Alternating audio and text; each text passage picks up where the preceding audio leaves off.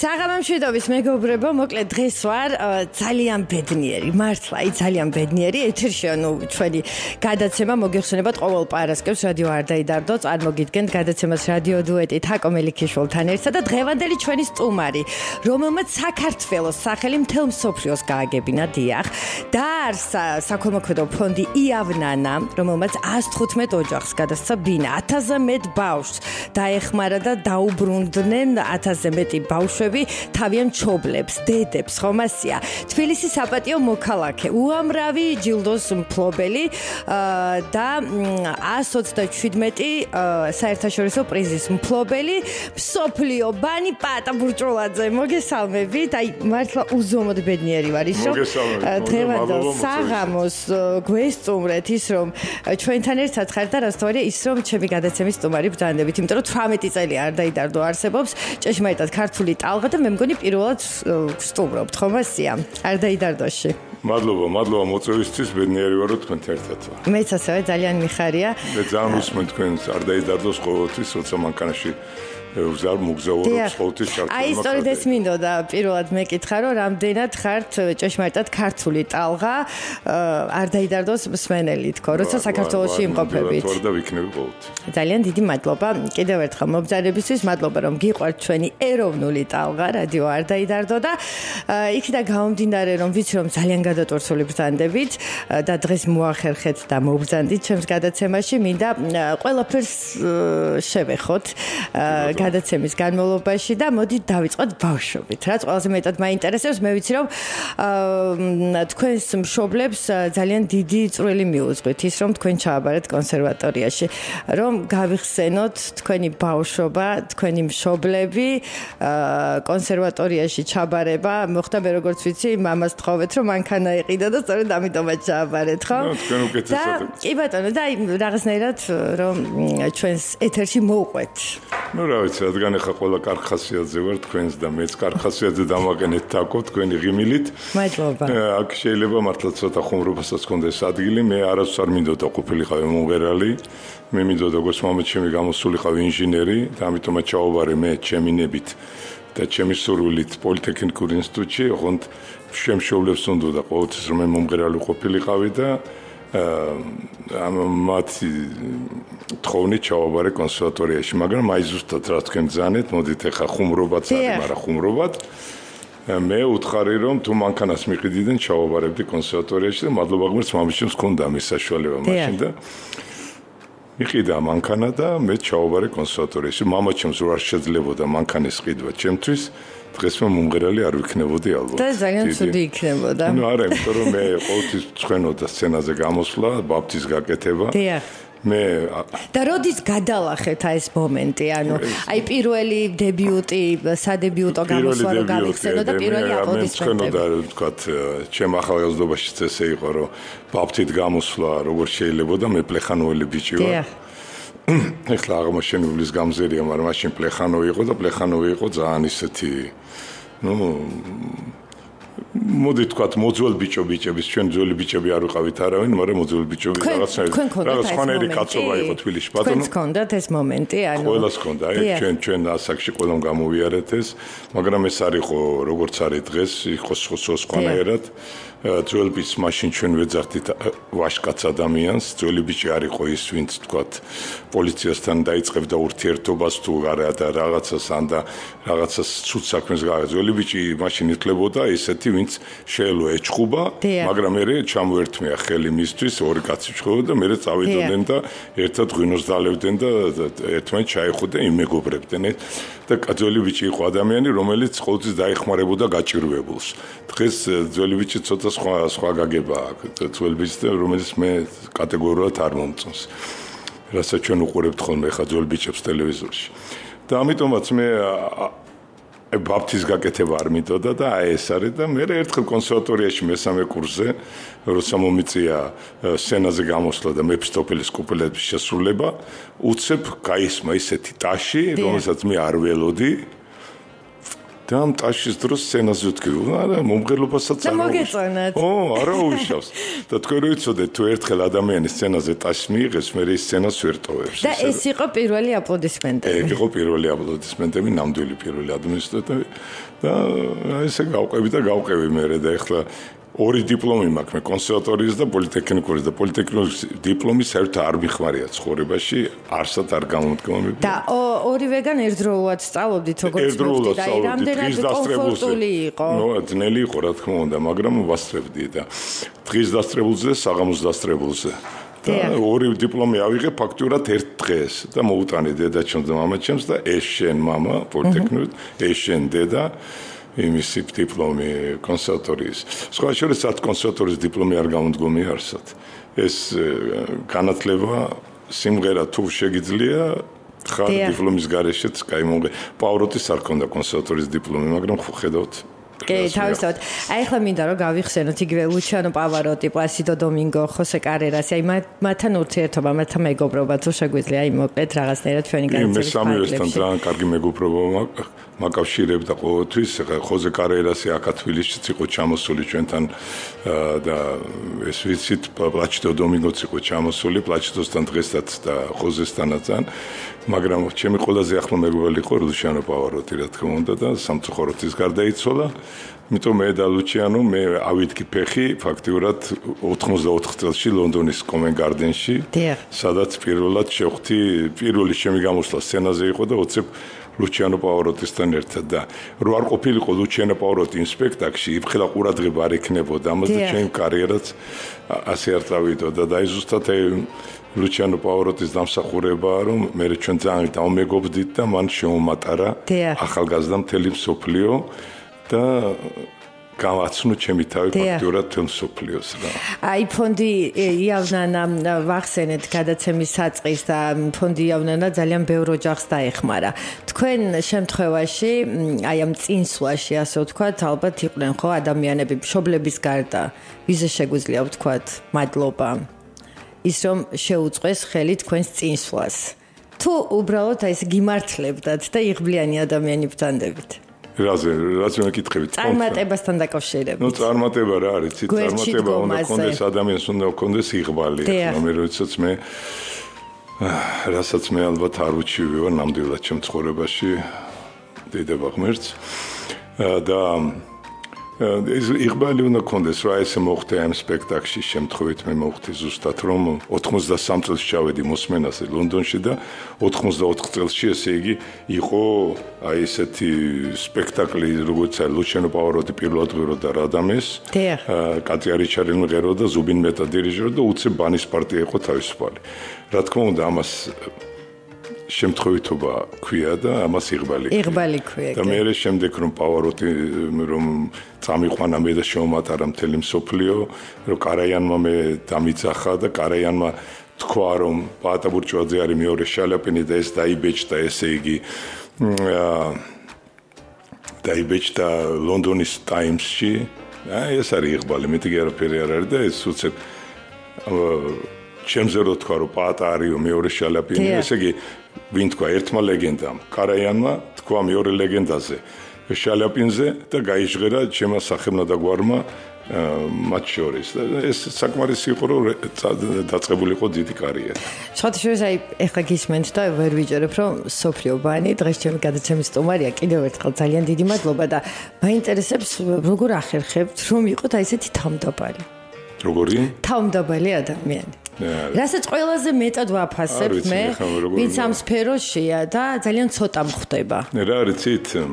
არ ვიცი ხომ მადლობა მე ამ კომპლიმენტისთვის რა თქვენ მითხარით, მაგრამ მე მგონი რომ სიმღერაშიც ასე უნდა იყოსა და აი რა არის სიმღერაში, როცა მღერი ხარ? დიახ. აა მე ვასწავლი ხოლმე ჩემს სტუდენტებს, აა ნუ ვისაც ვისთანაც მიწევს ისა, რომ სიმღერის მთელი შინაარსი არის უბრალოებაში. გულწრფელობა და უბრალოებაში. ცხოვრება უნდა იყოს, ნამდვილი ცხოვრება. რაც უფრო ცხვირა წეული ადამიანი, ის უფრო ვერ მიახსენს ვერაფერს ცხოვრებაში. ასევე, რაც უფრო შენ სიმღერაში რაღაცა გინდა წარმოაჩინო, ვერაფერს ვერ გააგეთებ, იმიტომ რომ ეს უკვე ხელოვნურია. ყველაფერში არის საჭირო უბრალოება. აი? და უბრალოება, აი როგორც მიდის ცხოვრება, ეს ხარ. ესე იგი თავზე მაღლა ვერ ახტები და არც უნდა ეცადო. უნდა იყო ისეთი, როგორც ხარ დაბადებული. გეთახვები და იმედი მაქვს ძალიან ბევრი ადამიანი მოგბაძავთ და თუნდაც ახლა ვინც უსმენს, გაითვალისწინებენ სამომავლო ცხოვრებაში აუცილებლად. კონკურსის თემაზეც მინდა ვისაუბროთ. თქვენ აღმოაჩინეთ ნიჭერი გოგონა ქუთაისში, თქვენი კონკურსის ფარგლებში. ბერიშვილი ბაია ხომასია. და რა სიხშირით ჩატარდება მსგავსი კონკურსი და როდის ვიხილავთ იგივე ამ გოგონას? რა არის ეს მოც კონკურსი ნუ გავაგე დავარქვეთ ამას კონკურსი არ იყო ეს იყო მოსმენა და თქვათ მოსმინე და ავარჩიეთ ავარჩიეთ. ეს ჟური იყო სპეციალური მარინა ბერიშვილის მარინა ბერიძის და გოჩა დათუსანის ხელმძღვანელობით და მათ ჩამოიარეს საქართველოსში ბევრი მოსმინეს რა არის ძალიან ბევრი ნიჭიერი ბავშვია მე ვეცებდი ისეთ ბავშვს, რომელიცაც აი შეიძლება მართლა რაღაც სასწაულად კარგი მომავლის კარიერის გაკეთება. და აი მონახეთ ეს, იმიტომ რომ ბევრია ვის ვისენაც შეიძლება გაკეთდეს საფრთხელად დიდი მომღერალი გამოვიდეს რაღაცა, მაგრამ მე ვეძებთ რაღაც განსაკუთრებულს. და აი მოინახა ეს 17 წლის გოგონა, ვაია ბერიშვილი, ქუთაისელი, რომელსაც რომელიც უკვე სწავლობდა ქუთაისის მუსიკალურ სასწავლებელში ძალიან კარგ პედაგოგთან. და აი ეს ავიყვანეთ და ეხლა დღეს დღესდღეობით მიდის უკვე მასთან ერთად მუშაობა და უკვე საქართველოს გაიცნო ფაქტიურად ეს გაიცნო ეს გოგონა და 17 წლის აი ხა დეკემბერში გახდება 18 წლის. ის ჩაავარებს ახლა ჩემთან კონსერვატორიაში მე ჩაავარებინებ იმიტომ რომ კონსერვატორიაში აუცილებლად უნდა ისწავლოს ჩემთან. და ნახოთ მე დარწმუნებული ვარ რომ კონსერვატორიის დამთავრება არ იქნება საჭირო იმისთვის რომ მან უკვე საერთაშორისო სცენებზე იმღეროს. და უახლოეს პერიოდში ანუ იგივე მომავალ წელს თუ გეგმავთ რომ მსგავსად მომავალ წელს კი არა. თაკო მე ვაგეთებ ისე რომ ყოველ ორ თვეში ერთხელ გვაქვს მოსმენა და ამას ვაცხადებთ ხოლმე და მოდიან ბავშვები ახალგაზრდები და მათ უსმენთ და ესე იგი თქვენ როგორც აღნიშნეთ, მართლა ძალიან ბევრი ნიჭიერი ადამიანი არის და ალბათ რთულიც არის, ხომ? შერჩევა, გამორჩევა ერთ-ერთი. გამორჩევა ძალიან რთულია. უბრალოდ ზოგიერთ ასაკი არ უწყობს ხელს. ზოგიერთი უკვე ის არის, იმიტომ რომ რა არის ეს აი იმ იმის მიღწევა რისაც მე მინდა რომ მივახციო თქვა ახალგაზრდა იმაში. შეიძლება 17-18 წლის 19 წელი მაქსიმუმი რომ აიქიდან აღიზარდოს და მე მივახციოთ იმიტომ რომ დღეს ძალიან გაახალგაზრდა საოპერო სცენა და ხალხს განსაკუთრებით საზოგადოებრივ უფრო ახალგაზრდები რაღაც ახალგაზრდების სენსაცია ჭირდება. სენსაცია ჭირდება და ეს სენსაცია უნდა მოხდეს და ეს სენსაცია მოხდება აუცილებლად. ანუ ორ თვეში ერთხელ ვიც ახლა გვისმენთ. ყოველ ორ თვეში ერთხელ. აი ახლა ჩვენ ნოემბერში უკვე ქონდა და გვექნება ესე იგი იანვარში გვექნება აუცილებლად იანვრის ბოლოს. თქვენ შვილი შულზეც რომ გვიამბოთ, ვიცი რომ ძალიან კარგი ფრერის კონსერვატორიაში სწავლობს. ანუ პალავანდის შვილი ძალიან კაი მომღერალია, ახალგაზრდა ისეთ, ну ის 21 წლის გოგონა. და ჩემთან სწავლობს კონსერვატორიაში. მე კონსერვატორიის პროფესორის გავხდი, ზუსტად იმისთვის რომ ეკაც არის საჭირო ჩემი ყოფნა და ეხლა იმღერებს ბოხემაში დეკემბერში ექნება მას დებიუტი. ბევრი წარმატებები. მოვიკითხოთ ჩვენი ეთერიდან. აა და აქვე მაინტერესებს ორიოდე სიტყვა ახალ წელთან დაკავშირებით, სანამ პლუს ახალ სიმღერას დავაპრემიერებთ, ანუ თქვენი შესრულებით, ნუ დღეს შეემატება ეს სიმღერა ჩვენს მუსიკალურ ბაზას. რაიმე ტრადიცია თუ გაქვთ ახალ წელთან დაკავშირებით აა და წელს საქართველოს შეხვდებით თუ არა? კი, დღეს. და არის თუ არა ახალი წელი ერთ-ერთი გამორჩეული დღესასწაული თქვენთვის პირადად? ну ახალი წელი საერთოდ რა არის მე ძალიან მიყვარს დაბადების დღე ახალი წელი და რაც ხანდახან იძახიან ხოლმე რომ აი დაბადების დღე ოი ერთი წელი კიდე მომემატა რატო უნდა ისახნათ ან ახალი წელი უკვე ერთი წელი კიდე მოგვემატა და რა პირიქით ეს ბედნიერებაა რომ მოგემატა და შენ ცოცხალი ხარ და კიდე ახალ წელს იწებ და შენ რო ახალ წელს ხვდები და კიდე მომავალში ღმერთმა გაჩუქა ეს რომ კიდე მომავალ ახალ წელს შეხვდე. ამას დიდი ბედნიერება არაფერი არ არის ამიტომ მე მგონი ძალიან კაი დღესასწაულებია ეს. ფონდი ავნანასაც შეეხება მე ვიცი რომ რაღაც გარკვეული წლები არის ხო შეფერხება. და როდისთვის შეიძლება რომ იგივე სპეციალური საქმე გაკეთდეს ოჯახებისთვის და დედებისთვის ასე ვთქვათ. კაბო არაფერი შეფერხება არ არის, შეფერხება არის ის, რომ ბოროტი ძალები გვებძვიან და ებძვიან სიკეთეს საერთოდ საქართველოში. ახლა არ გვინდა ჩვენ პოლიტიკურში გადავალთ, მაგრამ გეტყვით ერთ რამეს, რომ ხუთი წელია ფონდი ავნანაზე ეს დაწყებული საქმე. ხო, ვითომ ვითომ იწიებენ.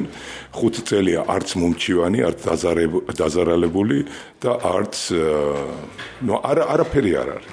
მაგრამ მაინც საქმე თაროზეა შემოდებული, ჩვენ ვეკითხებით რა გითხარით თუ რამე შემერ დამნაშავეები?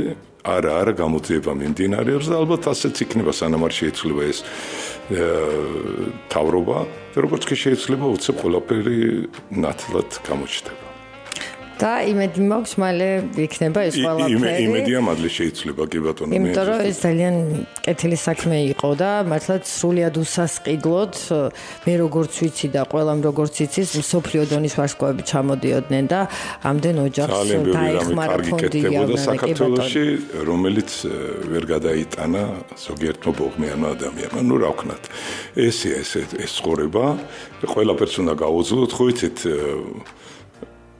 ვარდებს უეკლოთ ვერ მოკრებ და ეს ეკლები გერჭობა, გერჭობა ხელში, მაგრამ ეს არ კლავს.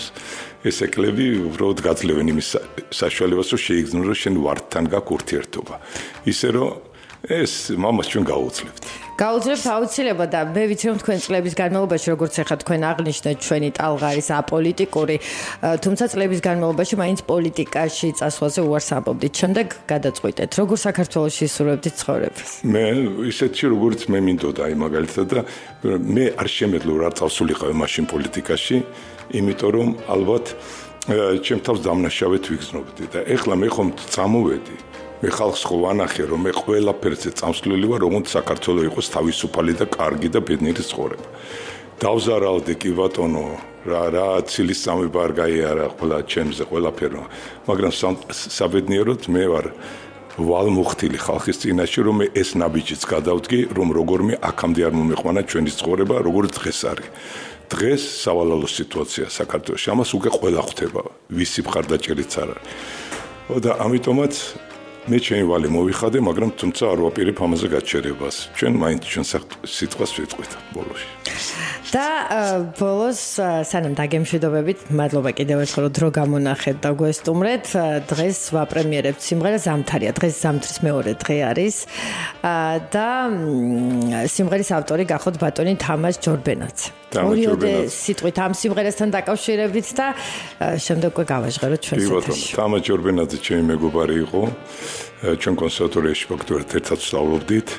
და მე არ ვიცნობდი მის კალიშვილს თეონას მაგრამ მე თეონა გახდა უკვე ჩემი თანამებრძოლი მოდი ვთქვათ და ნუ ერთად ფონდი ამნანა ფაქტობრივად შექმნი ჩვენ ერთად და სანამ გახდებოდა უცებ ვიღაც ახალგაზრდა გოგომ დამირეკა მოვიდა ჩემთან და მთხოვა რომ ჩამეწერა მამამისის სიმღერა. ეხლა მე ძალიან სხვანაირად მე დიდი წლის ამბობ ბევრი წელი გავიდა ამის წინ ესე 10-15 წლის ამბავს გიყვებით.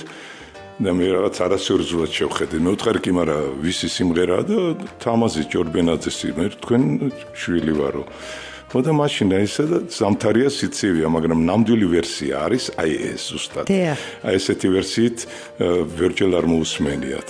და რომ სტუდიაში ჩაიწერა ბატონო პარტიის სიმღერა. ალბათ არ გვახსოვს, იმიტომ რომ მას დიდი ხანია კლიპიც არის გადაღებული და ისე რომ აი ზუსტად იმის მერე მე და თეონა ერთად ვართ. ძალიან დიდი მადლობა რომ დღეს მომწადეთ ჩვენს გადაცემაში. ბევრი წარმატებები მინდა გესურვოთ და იმედი მაქვს სიახლეებით სამომავლოდ გვესტუმრებით ხოლმე, როცა დროს გამონახავთ და ბედნიერი შობა ახალი წელი აქვს. მადლობა ასევე ჩვენ და თელ ჩვენს ვინც გვისმენდა ყველას ყველას ბედნიერი შობა ახალი წელი მინდა უსურვო. სოფლიო ბანი პაატა ბურჭულაძე იყო ჩვენი გადაცემის ეგეთ პირველი სტუმარი მოვისმინოთ სიმღერას ამთარი.